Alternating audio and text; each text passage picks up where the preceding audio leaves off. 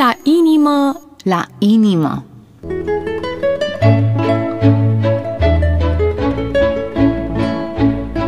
Pentru noi, Femeile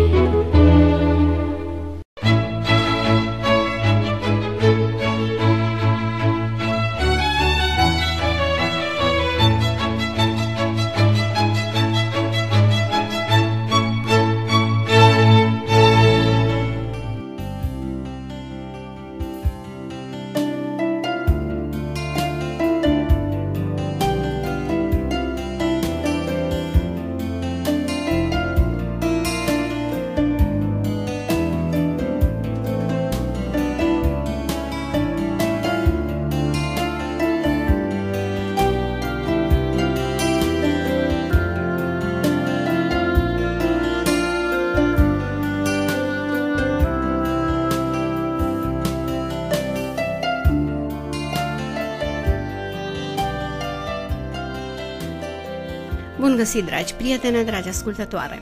Am poposit din nou la o întâlnire de la inimă la inimă, cu Dumnezeu în fiecare zi, așa cum spunea Costache Ioanid într-una din poeziile sale, e foarte plăcut și ai multe de împărtășit. Cu Dumnezeu în fiecare zi înseamnă o viață specială.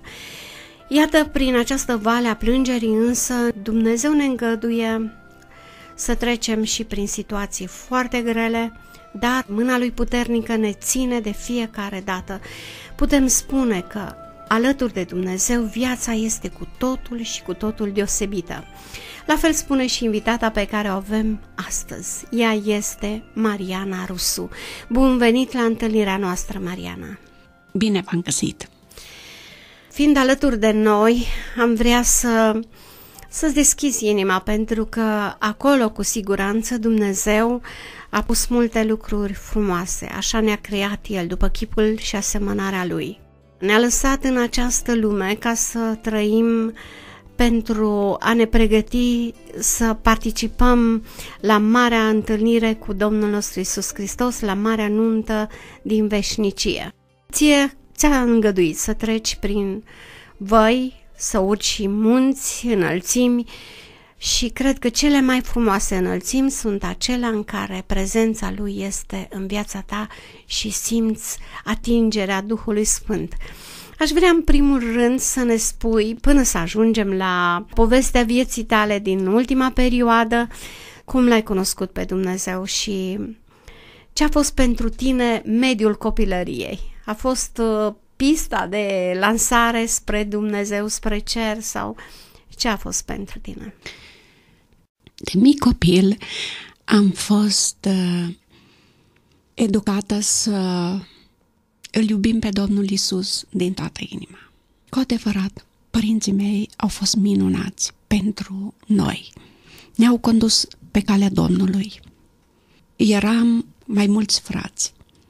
Tata era cu adevărat un copil al lui Dumnezeu, neavând posibilitatea în fiecare zi sau duminicile să fim la programul de la biserică, făcea cu noi acasă ora de rugăciune, ne învăța cuvântul Domnului, citea din Biblie, cânta și mi-amintesc acum minunata cântare din copilărie pe care tata ne-a învățat-o fie-vă inima plină de laudă mulțumire, căci ai lui fi ne numește înduratul părinte.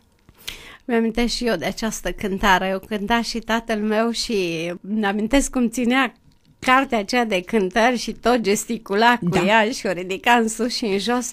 Da, într-adevăr, fie ne inima, inima plină de laudă, mulțumire, cuvinte adânci, noi cântam cuvinte adânci, dar poate că nu realizam cât de, de, de extraordinare erau acele cuvinte. Și la vârsta de 12 ani am avut harul ca Duhul Sfânt să-mi umple inima și să mă sigileze. Îmi amintesc de acele seri de rugăciune în care puterea Duhului Sfânt se cobora peste noi când stăruiam în rugăciune. Și e, mulțumesc lui Dumnezeu pentru harul lui că l-a, la vârsta de 12 ani s-a îndurat și m-a sigilat cu Duhul Sfânt. Înseamnă că era într-adevăr o atmosferă de rugăciune. La voi în casă s-a întâmplat acest E- lucru. Era la niște rude în apropiere, în apropiere cercul de rugăciune și eu am beneficiat de harul ăsta să pot să particip seara acolo. La... Îți plăcea să mergi la Da. rugăciune? Îl iubeam pe Domnul și e, când auzeam că este rugăciune, mă sileam să ajung și e- mă simțeam minunat. Da, aceasta a fost prima experiență mai specială pe care ai avut-o cu Dumnezeu în copilăria ta. Da, da, din copilărie, de la vârsta de 12 ani. Și m, acest uh, sentiment că îi aparții lui Dumnezeu în mod special te-a urmărit de-a lungul anilor? Uh, simțeam că sunt în siguranță, orice problemă aveam, veneam cu ea înaintea Domnului și eu încredințam lui și am văzut mâna lui atotputernică, cum mă călăuzea, cum îmi dădea lumină, înțelepciune, când trebuia să iau unele decizii în viață. Și îi mulțumesc lui Dumnezeu.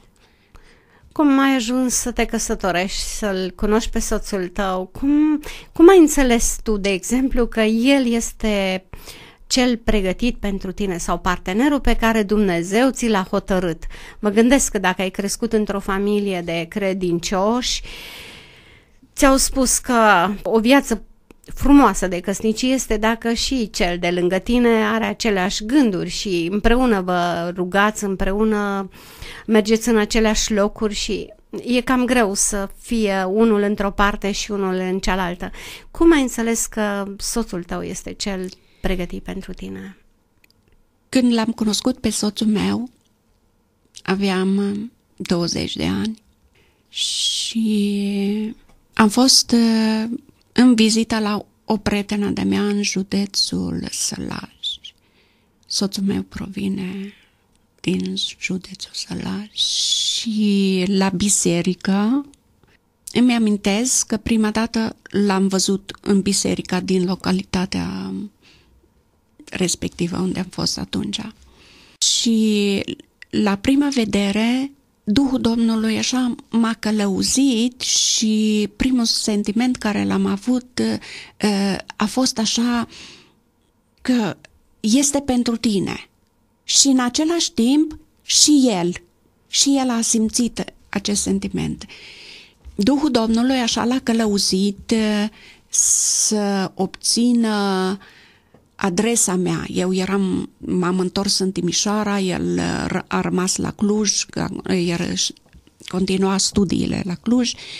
Atunci nu erau așa performante ca și acum, telefoane și Duhul Domnului l-a călăuzit să obțină adresa mea, mi-a scris o scrisoare și din prima scrisoare el uh, și-a exprimat uh, dorința că vrea să mă cunoască și că uh, în același timp uh, mi-a și spus că este un băiat serios și nu caută doar ca să mă cunoască așa. Da, și dacă sunt de acord să-i trimit o poză. Deci asta a fost prima noastră tangență. Da. Și desigur că eu am fost foarte fericită, am simțit așa un sentiment aparte pentru el și i-am scris, i-am trimis și poza. Așa a început prim, Relația voastră. prima noastră relație, da. Și după ce soțul meu și-a terminat studiile la Cluj, a venit eh, la Timișoara și am întemeiat o căsnicie O căsnicie fericită. Cum? fericită și sub binecuvântarea lui Dumnezeu. Domnul v-a dat și Domnul ne-a dat uh, trei copii. Primul copil a fost o fetiță. Toți trei am făcut cezariană. Dar uh, durerea a fost mare. La prima cezariană prea târziu a intervenit și copilul a decedat la naștere. așadar ai avut și o fetiță. Da, prima a fost fetiță și pe urmă doi băieți. Doi băieți pe care bunul Dumnezeu s-a îndurat și mi-a dat în urma multor rugăciuni. am aplicat, cum Ana a aplicat, a stat de vorbă cu Domnul, așa am stat de vorbă și eu cu Domnul și Domnul s-a îndurat și m-a ascultat și m-a binecuvântat și mi-a dat doi băieți. Ești o mamă, Minunați. o mamă fericită cu doi băieți. Mulțumesc lui Cum Dumnezeu. le-ai arătat băieților tăi cât de mare e Dumnezeul în care tu te-ai încrezut? Am încercat, cât a depins de mine, de mama, am încercat să le fac de cunoscut cuvântul lui Dumnezeu. Um,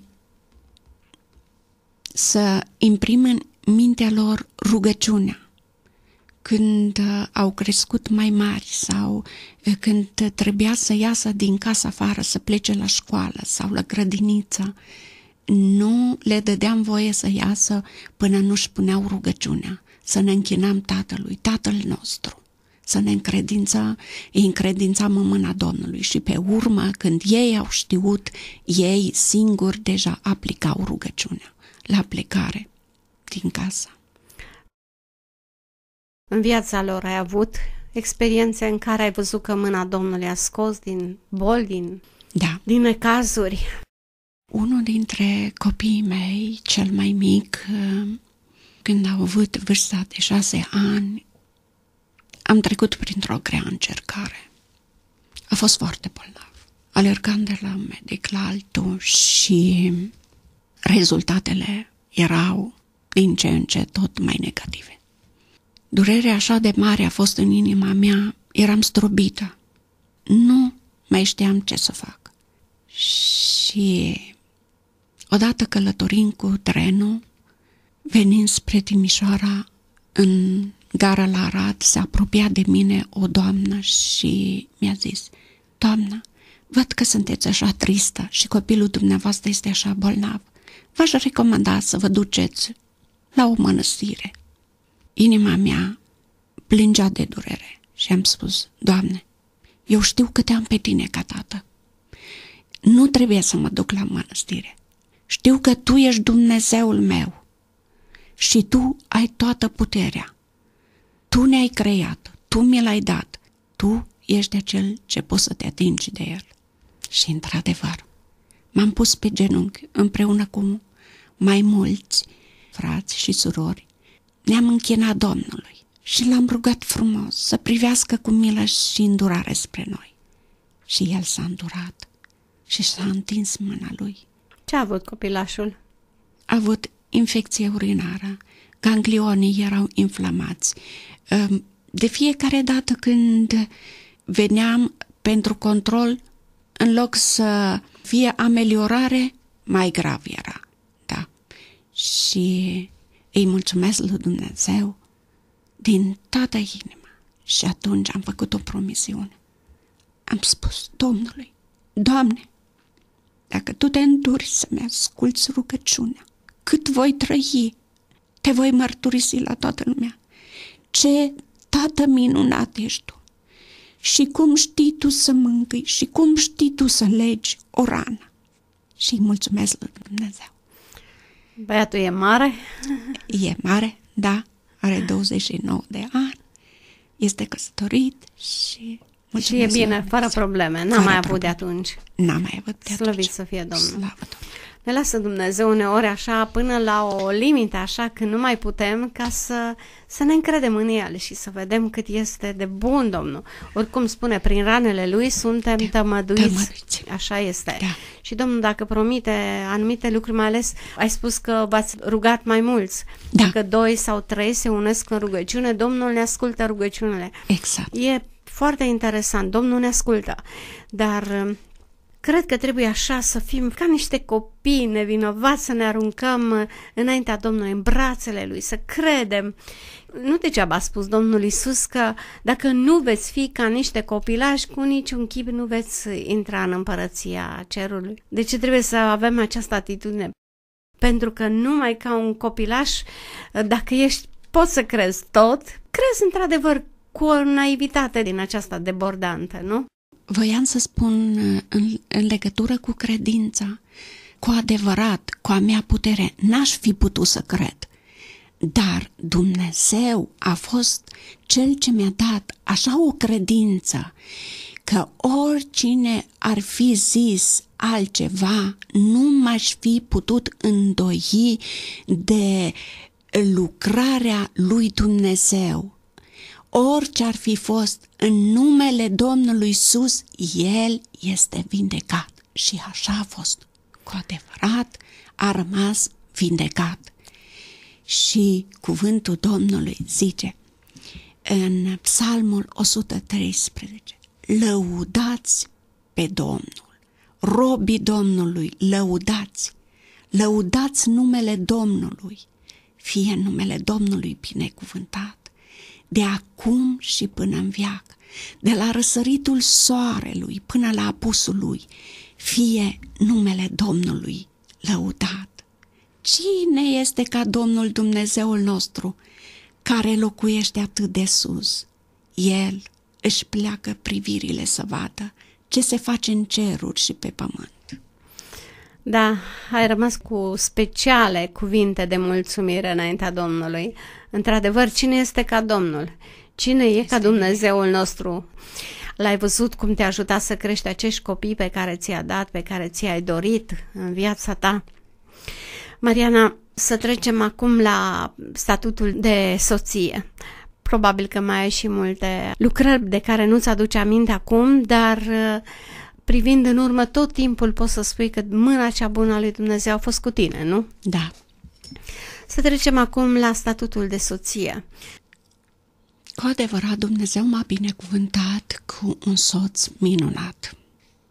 După ce ne-am căsătorit, Duhul Domnului s-a coborât și peste inima lui și s-a dăruit în întregime în lucrarea Domnului.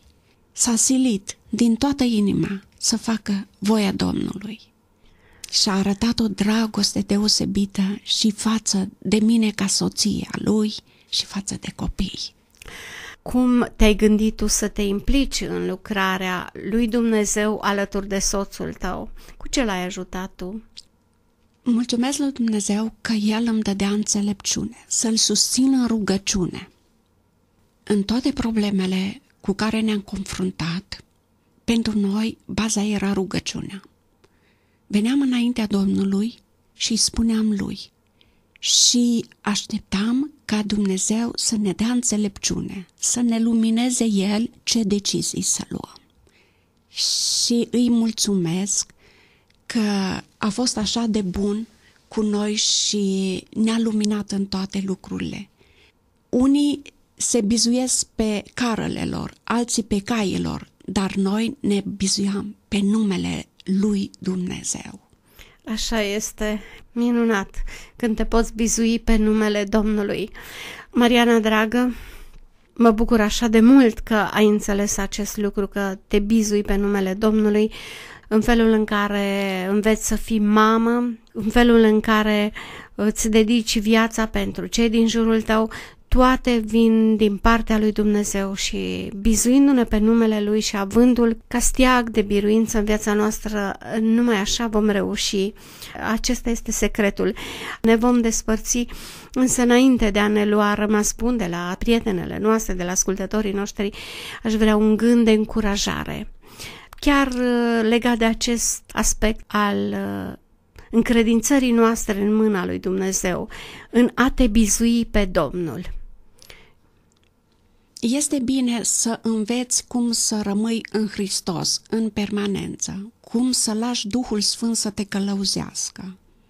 Dacă ești acuzat uh, pentru ceva și nu este vina ta, adu acel lucru înaintea lui Dumnezeu și El îți va face dreptate. Adevărul va fi câștigat și va fi scos la lumină. Aș vrea să vă încredeți în Dumnezeu și recunoașteți toate lucrurile care conștiința ta te mustră, nu le acoperi, du-le înaintea lui Dumnezeu. Dumnezeu poate aduce vindecare minții tale. Dumnezeu locuiește în mijlocul laudelor. Alege să lauzi pe Dumnezeu și emoțiile tale se vor alina și ele. Dragi prieteni, dragi ascultători, invitata noastră de astăzi, Mariana Rusu, ne-a transmis un gând special, acela de a ne bizui pe Domnul și de a alege să fim oameni mulțumitori, încercând să recunoaștem că Domnul este bun cu noi și merită laudă și cinstire pentru toate aspectele din viața noastră, chiar dacă nu le înțelegem. Aș vrea să vă invit și la întâlnirea viitoare cu Mariana Rusu, pentru că în viața ei s-au petrecut lucruri mari, lucruri care au fost uh, pentru ea ca un spectacol la care nu s-a așteptat să participe, dar Dumnezeu este în controlul oricărei situații și El ne ajută să trecem prin toate momentele vieții noastre pe acest pământ. Vă invităm, dragii noștri ascultători, și data viitoare la o întâlnire de suflet de la inimă la inimă. Sunt Lidia Iliesi, realizatoarea acestei emisiuni și împreună cu invitata de astăzi vă spunem la revedere, fiți binecuvântați! Fiți binecuvântați de Domnul!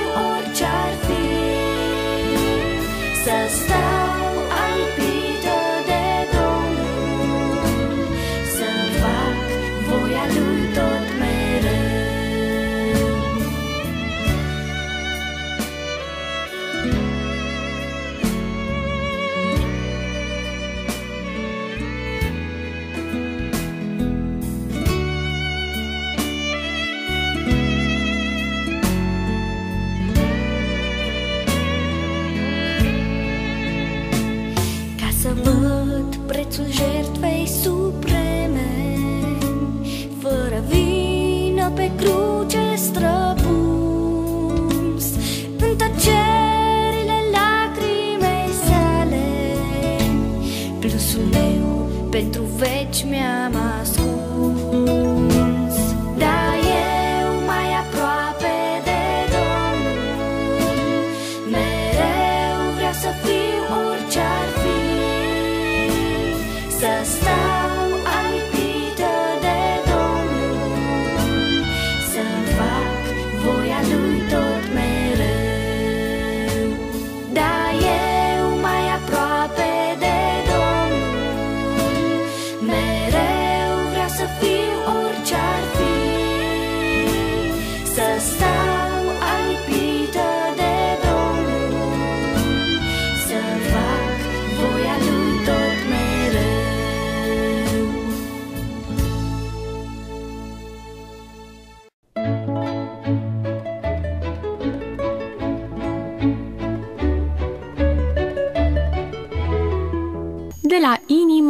La inimă.